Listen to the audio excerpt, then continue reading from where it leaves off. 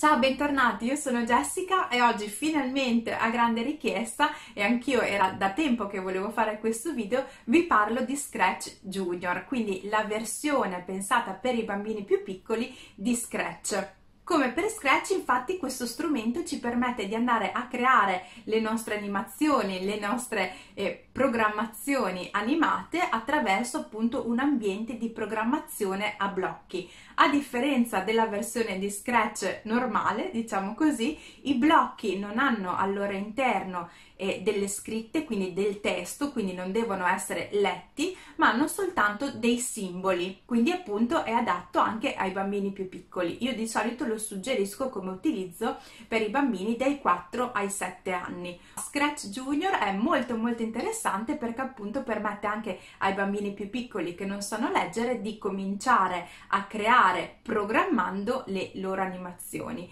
e ci permette ovviamente di iniziare a parlare con loro della programmazione, delle basi della programmazione e anche dell'aspetto creativo che porta dietro di sé appunto la programmazione. Ho deciso di parlarvi di Scratch Junior proprio adesso perché c'è una grande novità. È da un po' che Scratch Junior è stato creato e che è disponibile per i dispositivi mobili, quindi in generale per i tablet, anche per perché con lo smartphone avremmo un, uno schermino un po' troppo piccolo, sia per Android che per iOS. Però adesso mi sono decisa a parlarvene perché finalmente è diventato disponibile anche per i Chromebook.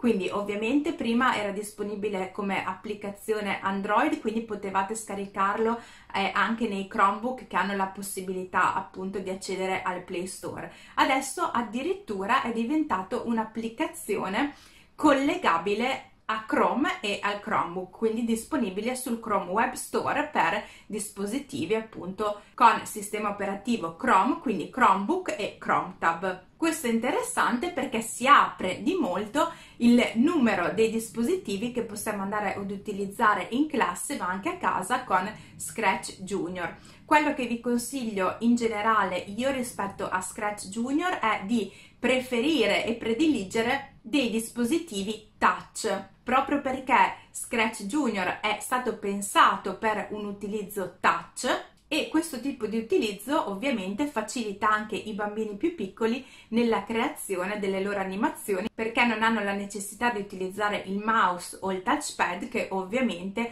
complica un pochino l'utilizzo dei dispositivi e la creazione in generale per i bambini più piccoli ma iniziamo a guardare nel concreto cos'è Scratch Junior e cosa possiamo fare con questo strumento. Quando apriamo Scratch Junior ci ritroviamo davanti a questa schermata con la casetta al punto di domanda, noi andiamo subito sull'ingranaggio per vedere cosa possiamo settare. Qui possiamo scegliere la lingua, per ora è disponibile in inglese o spagnolo, in realtà non è dipendente dalla lingua per le ragioni che vi dicevo prima, quindi è indifferente in realtà la lingua che andiamo a scegliere. Poi qui troviamo anche il simbolino del libro che ci permette di accedere a tutte le schede di approfondimento di Scratch Junior. Qui troviamo le indicazioni, quindi le guide per l'interfaccia utente, per l'editor grafico e anche per tutti i blocchi che troveremo all'interno di Scratch, i blocchi di programmazione.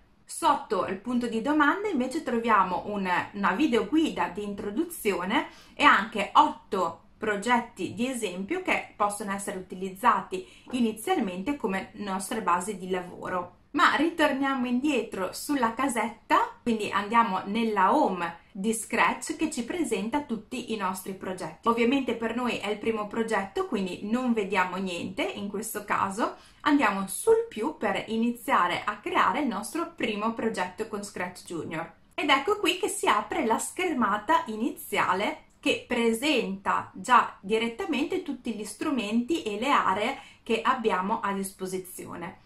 Innanzitutto a sinistra abbiamo l'elenco dei personaggi. Di default viene inserito il primo personaggio che è il gattino, ma ne possiamo aggiungere altri. Torniamo tra un attimo su questa sezione perché prima vediamo quelle successive. Al centro della pagina abbiamo l'anteprima di animazione dove vedremo piano piano che si crea la nostra animazione con Scratch.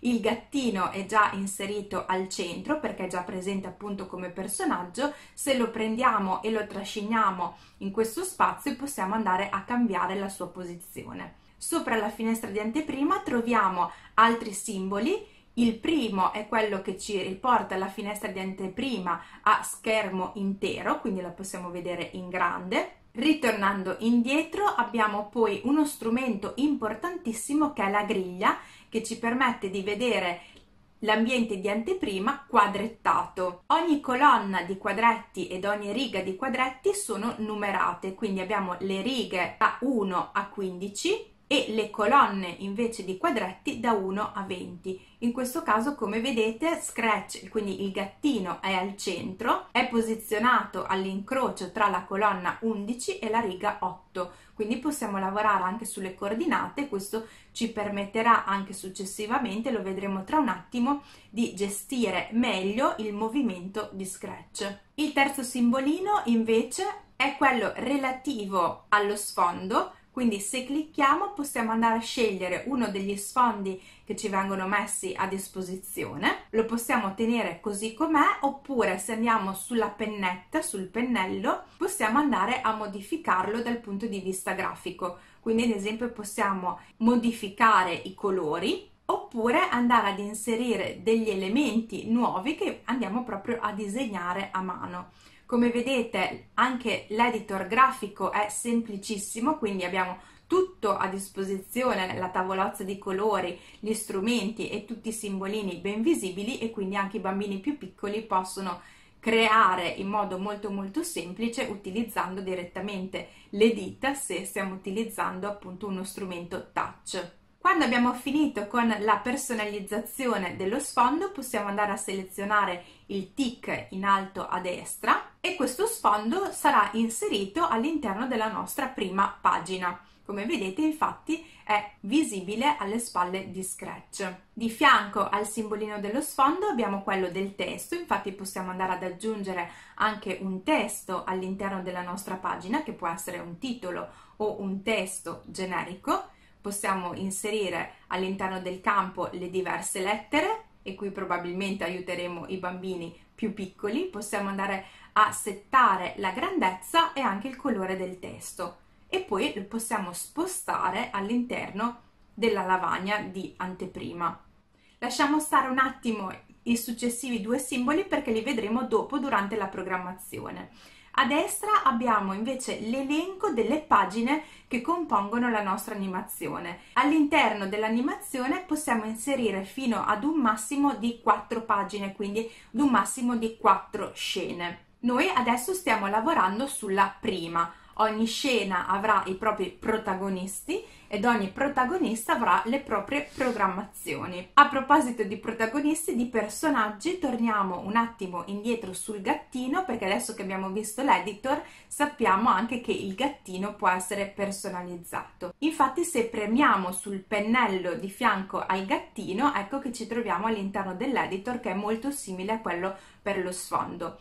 In alto però troviamo il nome del personaggio che possiamo andare a modificare e ad assegnare come preferiamo. Anche per il personaggio possiamo andare a lavorare dal punto di, di, vista grafico sia andando a cambiare eventualmente il colore delle diverse parti del personaggio, sia andando ad inserire degli elementi nuovi attraverso gli strumenti che troviamo sulla sinistra. Quindi prendiamo ad esempio il tipo di linea o di forma che vogliamo andare ad inserire, selezioniamo lo spessore, il colore e poi andiamo a disegnare sul nostro personaggio. Quando abbiamo finito andiamo a selezionare anche in questo caso la spunta e le modifiche verranno memorizzate e il nostro personaggio verrà modificato ed ecco qui che infatti la nostra gattina è diventata il personaggio principale della nostra storia. Nella parte bassa invece troviamo tutta la parte dedicata alla programmazione. Come vedete nella parte bianca c'è il disegno stilizzato del nostro protagonista perché questa sarà la lavagna di programmazione relativa a questo personaggio. Quando ce ne saranno due, tra un attimo poi vedremo anche le differenze. I blocchi di programmazione sono divisi per categoria, ogni tipologia di blocchi ha un colore specifico. Adesso sono in primo piano i blocchi di movimento che sono quelli azzurri. Per utilizzare un blocco ci basterà prenderlo e trascinarlo all'interno dello spazio bianco di programmazione. Ad esempio prendiamo la freccia in avanti che ci permette di fare dei passi in avanti e la trasciniamo nello spazio bianco. Se clicchiamo sul numerino che adesso è impostato su 1, compare un tastierino numerico che ci permette di selezionare in questo caso il numero di passi da far fare.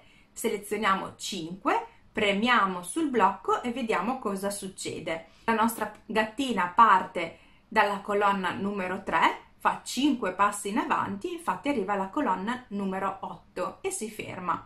Se ripremiamo, ecco che fa altri 5 passi in avanti fino alla 13. Per tornare indietro possiamo andare a prendere il blocchetto con la freccetta verso sinistra, quindi l'indietro, oppure possiamo utilizzare sempre il tastierino numerico per andare a scrivere meno 5, in questo caso se vogliamo rendere le cose un po' più complicate, e ricliccando sul blocco ecco che il gattino andrà indietro. In alto e qui scopriamo la funzione di questo pulsantino, troviamo la freccia indietro con la X, se lo clicchiamo la gattina, il nostro personaggio e tutto quello che troviamo all'interno della nostra pagina viene riportato alla situazione iniziale di partenza. Facciamo un'altra prova con un altro blocco di movimento, ad esempio uno di rotazione. Scelgo quello di rotazione in senso orario e ogni volta che clicco, come vedete, il gattino ruota in senso orario di 30 gradi, quindi per fare un giro completo dovremo cliccare 12 volte ma come avete visto per ora i blocchi si sono attivati solo quando io cliccavo direttamente sul singolo blocco. Ovviamente questa non è una programmazione, abbiamo provato e testato soltanto questi piccoli blocchi per creare una vera e propria programmazione dobbiamo mettere una condizione iniziale, quindi questi blocchi vengono attivati quando succede qualcosa. Questi blocchi di condizione iniziale, le situazioni, le troviamo all'interno della tipologia gialla, quindi di colore giallo. La selezioniamo quindi e qua troviamo i blocchi che fanno parte di questa tipologia. Tra questi noi scegliamo adesso per fare una prova la bandierina verde, quindi quando viene cliccata la bandierina verde. Prendiamo il blocco e lo inseriamo all'interno dello spazio bianco. A questo blocco dovremo andare ad attaccare, quindi ad incastrare tutti i blocchi, quindi le azioni che devono essere eseguite quando viene cliccata la bandierina verde. Noi ad esempio andiamo ad appiccicare al blocco della bandierina verde la freccia in avanti e il ruota, quelli che abbiamo appena testato. Quindi quando si cliccherà sulla bandierina verde andrà in avanti e ruoterà.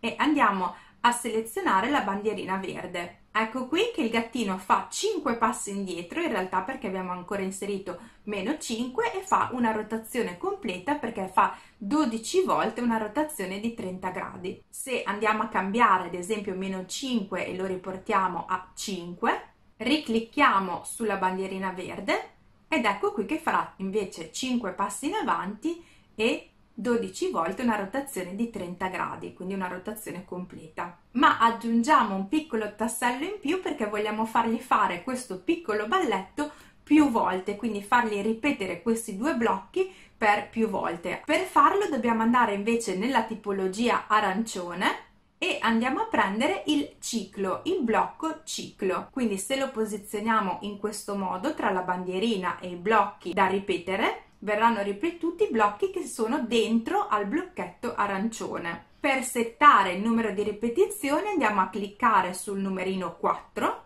e andiamo a selezionare noi le ripetizioni che vogliamo fargli fare oppure lo lasciamo come 4. Andiamo a selezionare la bandierina verde ed ecco che va avanti e si gira per la prima volta. I blocchi che vengono eseguiti hanno un effetto grafico diverso perché è come se fossero premuti mentre vengono eseguiti e intanto per quattro volte il nostro gattino è andato avanti e poi si è girato su se stesso. Sono tanti altri i blocchi che possiamo andare ad inserire all'interno delle nostre programmazioni, ad esempio ci sono quelli relativi all'audio, quindi possiamo andare anche a registrare l'audio e inserirlo come voce del nostro gattino e anche i blocchi relativi all'aspetto in cui troviamo anche i blocchi di fumetto. Però visto che questo è soltanto un video di introduzione, non mi soffermo su tutti i blocchi, se vi interessano alcune situazioni in modo particolare scrivetemelo nei commenti così potremo andare ad approfondire. Adesso quello che interessa a me è farvi vedere come aggiungere più pagine, come aggiungere più personaggi e fare interagire tra di loro i diversi personaggi. Per aggiungere più pagine andiamo a cliccare la, il più sotto alla prima pagina ed ecco che si apre la prima pagina bianca come vedete però nella programmazione sparisce quello che abbiamo fatto nella prima scena perché questa è un'altra pagina e anche se andiamo ad inserire lo stesso personaggio dobbiamo andare a creare una nuova programmazione. Possiamo andare anche ad aggiungere un nuovo personaggio cliccando sempre sul più dei personaggi e, andare, e andando a sceglierlo all'interno dei personaggi che ci vengono proposti. Ce ne sono tanti, scegliamo quello che ci piace di più, ad esempio io scelgo la polipetta. Ecco qui che viene inserita all'interno della mia animazione, la sposto, se no va a coprire la gattina. Come vedete nello spazio di programmazione bianco, visto che è stata selezionata la polipetta tra i personaggi, abbiamo lo spazio di programmazione della polipetta che è diverso da quello del gattino. Quindi anche per la polipetta andremo ad inserire i blocchi di programmazione specifici per questo personaggio di questa specifica scena. Vado a cambiare lo sfondo, quindi inserisco i due personaggi all'interno di una cameretta, li sposto per metterli sul letto e adesso voglio fare in modo che prima salti il gattino in alto e poi quando atterra salta anche la polipetta. Quindi partiamo dalla gattina andiamo a selezionarla tra i personaggi ed ecco qui che nell'ambiente di programmazione si vede la sua sagoma. Faccio cominciare l'animazione sempre tutta con la bandierina verde che trovo nella tipologia di blocchi gialli e vado a selezionare la tipologia azzurra, blu, perché voglio prendere un blocco di programmazione verso l'alto. Quindi faccio andare la gattina in alto di 5 quadrettini e poi la faccio scendere di altri 5 quadrettini, quindi prendo il blocco verso il, il basso, lo imposto su 5. La gattina andrà in alto di 5 quadretti, scenderà di 5 quadretti e poi manderà un messaggio alla polipetta per dirle di partire. Allora, per mandare dei messaggi dobbiamo ritornare nei blocchi gialli e qui ci interessa l'ultimo blocco che è quello con la bustina, quindi il messaggio appunto con la freccetta possiamo scegliere il colore del messaggio che ci permette soltanto di riconoscerli tra di loro e adesso andiamo a selezionare la polipetta anche qui nella tipologia dei blocchi gialli e selezioniamo a questo punto il blocco sì bustina ma bustina aperta quindi quando ricevi questo messaggio la bustina deve essere quella viola che è quella che avevamo indicato alla fine della programmazione della gattina anche la polipetta dovrà fare 5 passi verso l'alto e 5 passi verso il basso. Andiamo a selezionare la bandierina verde per vedere cosa succede, quindi bandierina verde inizia la gattina, farà 5 passi verso l'alto e 5 passi verso il basso, invia il messaggio alla polipetta ed ecco che lei parte e fa anche lei 5 passi verso l'alto e 5 passi verso il basso abbiamo finito la nostra animazione, non è necessario salvarla perché viene salvata in automatico. Per vedere tutte le animazioni andiamo a premere sulla casettina e qui vediamo la nostra e tutte le animazioni che abbiamo creato fino a quel momento. Per entrare selezioniamo un'animazione, se vogliamo cambiare il nome andiamo all'interno dell'animazione nell'angolo in alto a destra troviamo un pezzettino giallo, selezioniamo e lì cambiamo il nome della animazione per riconoscerla dalle altre. Ecco qui tutto quello che dovete sapere per iniziare ad utilizzare Scratch Junior con i vostri bambini. Ovviamente questa era soltanto un'infarinatura di base, se siete interessati a vedere delle funzioni nello specifico scrivetemelo nei commenti così possiamo continuare ad approfondirlo assieme, a me piacerebbe moltissimo perché mi piace veramente tanto come strumento. Io vi ringrazio per essere arrivati fino alla fine del video, vi do appuntamento qui sul canale a lunedì e giovedì prossimo. Ciao!